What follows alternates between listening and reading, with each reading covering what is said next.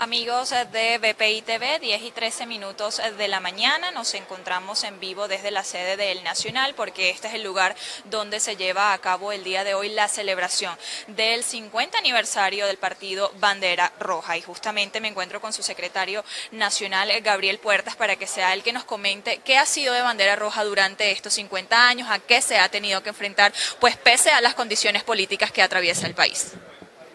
Bueno, Bandera Roja es una organización política nacida en la adversidad.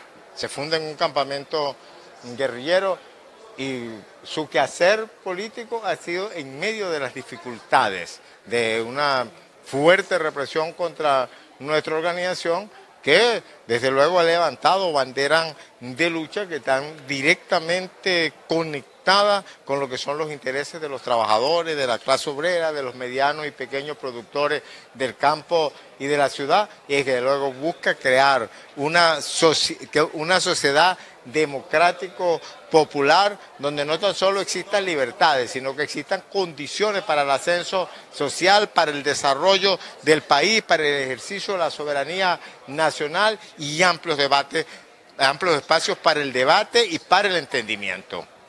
50 eh, años eh, pareciera decirse fácil, pero realmente no lo es, pues como ya ustedes me habían dicho, con, con toda la adversidad de política que vive el país. Sin embargo, hemos visto los últimos acontecimientos acaecidos en Venezuela. Vimos un año 2019 bastante movido, donde la mayoría de los venezolanos pensó que pudiera ser el final para esta situación eh, de crisis política, social y económica que atraviesa Venezuela. ¿Cuál es su perspectiva de esta posición política que tenemos ahorita? ¿Cuál es su visión? Pues de todo el panorama que existe en Venezuela para este año 2020?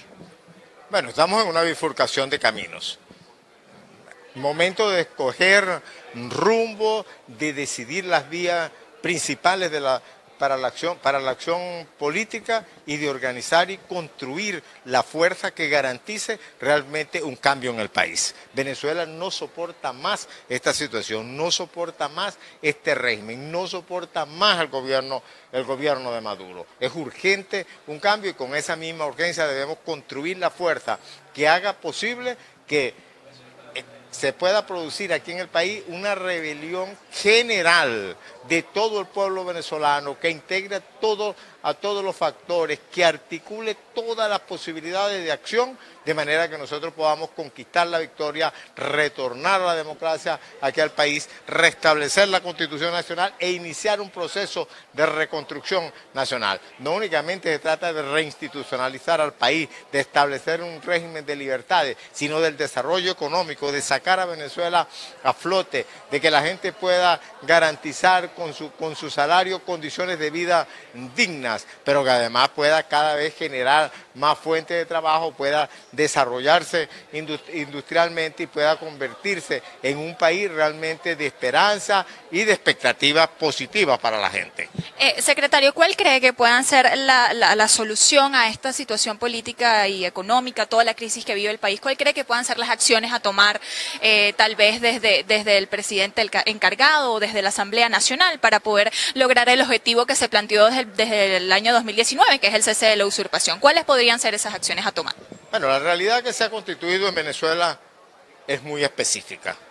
Una especie de dualidad de poderes, es decir, donde prácticamente hay un, gobierno encargado, hay un presidente encargado que ha sido boicoteado en su posibilidad de, hacer, de asumir el cargo plenamente, de hacer una gestión, porque, no porque ha contado con la oposición de los sectores que hoy en día usurpan, usurpan al gobierno. Entonces lo primero que hay que resolver aquí en el país es el asunto de la usurpación. Venezuela no tiene camino, no tiene destino hacia el progreso y hacia el bienestar como no sea saliendo de estos usurpadores, saliendo de este régimen dictatorial que hoy en día impera en Venezuela y abriendo espacio para, y abriendo espacio para la democracia. ¿Qué nos indica esto? La necesidad de unir, la necesidad de articular fuerza, la necesidad de renovar los compromisos compromiso para el cambio para el cambio político y la necesidad de disponernos a actuar en la dirección que hay que actuar. Hay que desechar las ilusiones, hay que prepararse para la lucha. No me van a venir otra vez con medicina,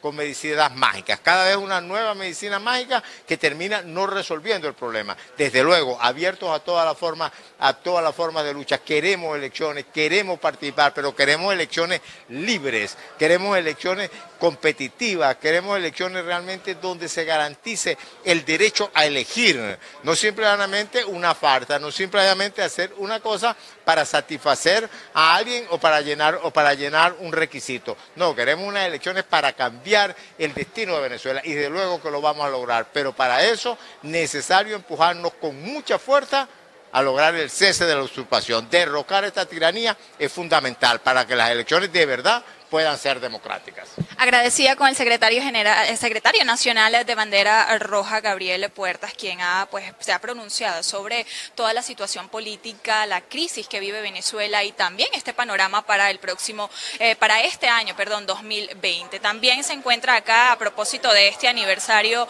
número 50 de la organización política Bandera Roja, el segundo vicepresidente a cargo de la Asamblea Nacional, Carlos Eduardo Berrisbeitia. Diputado, ayer eh, pues eh, se dio a cabo, se llevó a cabo la sesión ordinaria de la, de la Asamblea Nacional desde la Plaza Los Palos Grandes. Ya, eh, ¿qué, se pudiera pensar sobre el Palacio Federal Legislativo? ¿Perdió la Asamblea Nacional el territorio del Palacio Federal Legislativo?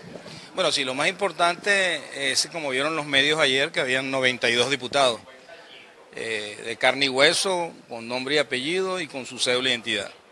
¿Qué quiere decir eso? Que las sesiones que estamos haciendo, que son legales fuera del Palacio, tienen el quórum mayoritario. Es decir, que si hay 92 diputados ahí, es imposible que en la otra asamblea que está usurpando el poder tengan quórum. Y eso se ha visto en todas las sesiones. Que perdimos el Palacio Federal, no lo hemos perdido. Está tomado militarmente. Está tomado militarmente, eh, eh, lamentablemente amparado por Padrino López, han visto ustedes los primeros días del mes de enero la violencia que ha, ocurrido en el Palacio. Pero bueno, eh, esperaremos algunos días. Teníamos la posibilidad de este martes ir al Palacio. Como se extendió la gira del presidente Guaidó, esperaremos su regreso para retomar otra vez la ida al Palacio Federal Legislativo. Pero lo más importante de todo esto es que eh, la trampa le salió mal al régimen. El mundo entero ha visto la violencia, ha visto eh, la ilegalidad y nosotros seguimos como diputados dando la cara y haciendo nuestras sesiones que son legalmente fuera del Parlamento y reitero, con más de 92 diputados, lo que significa que somos la asamblea legítima y la que tiene el cuero necesario para trabajar. Desde tempranas horas de la mañana vimos algunos eh, anuncios, si pudiera decirse, desde el edificio administrativo de la Asamblea Nacional, donde se le impedía el ingreso a los eh, trabajadores, a las personas que laboran desde este edificio administrativo por eh, presuntas inspecciones dentro de este edificio. ¿Qué decir ante esta situación? se han generado pues cambios, como lo hemos visto por parte de esta nueva directiva que ha tomado a la Asamblea Nacional siempre hemos dicho que no tenemos tanques, ni armas, ni equipos antimotines, ni bombas lagrimógenas. Eh, todo lo que está ocurriendo no solamente en la sede de, Pajaritos, sino en el Palacio Federal Legislativo, es amparado por, por fuerzas policiales y por colectivos que están dando la vuelta siempre a toda esa zona y que son colectivos que nosotros les hemos dicho que son terroristas, porque son colectivos civiles armados eh, amparados, repito, por el ministro de Defensa, Parino López, que debería él, eh, como guardián de las armas de Venezuela, evitar que eso ocurra. Hoy no han dejado entrar a, las oficinas administrativas a los trabajadores eh, de la Asamblea Nacional, pero bueno, los que tienen que darle una respuesta son ellos. yo siempre he dicho que a Maduro no le gusta que le llamen dictador o que lo llamen tirano pero lamentablemente eh, Maduro con todo lo que ha pasado en enero ha quedado ratificado como lo que es un violador de los derechos humanos y en este momento están violándole los derechos humanos a los trabajadores de las oficinas administrativas que no lo dejan entrar para cumplir con su función. Así es, diputado. También me gustaría preguntarle sobre esta gira del presidente Juan Guaidó, eh, no solamente por Europa, sino también ahora por Estados Unidos. ¿Qué pudiera traer el presidente Juan Guaidó pues, a Venezuela eh, eh, ante todo el panorama político que atraviesa el país para este año 2020? Sí, primero, bueno, la gira ha sido un éxito. ha podido reunirse con primer ministros, con alcaldes de ciudades tan principales como la capital de España, Madrid, igualmente con presidentes. Entiendo que salió de Canadá para Estados Unidos. No conozco la gira en, Estados Unidos, no sé si vaya a Washington, si lo va a recibir el presidente de los Estados Unidos. Parece que hay problemas en, esa, en esa reunión porque el presidente de los Estados Unidos parece que tiene una agenda muy apretada, pero no la conozco. Lo que sí es cierto es que eh, estamos esperando que regrese el presidente y, el llamado es a, recibirlo eh, como lo que es como un venezolano que está luchando, que está arriesgando su vida, la de su familia, por el bien del país, por la democracia del país y por lograr la libertad.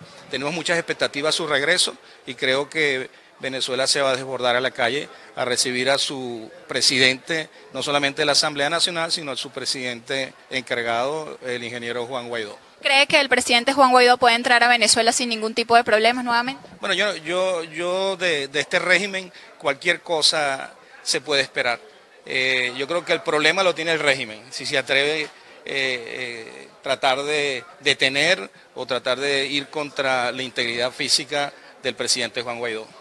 Bien, agradecida entonces eh, con el segundo vicepresidente de la Asamblea Nacional, Carlos Berrisbeite, quien está acá a propósito pues de este aniversario 50 de eh, Bandera Roja del partido. Bandera Roja es parte de la información que hasta el momento se ha registrado desde la eh, ciudad capital venezolana. Ya también se ha registrado información desde el estado Apure. Vamos a contactarnos con nuestra compañera Zulay para que ella nos dé más detalle. Adelante.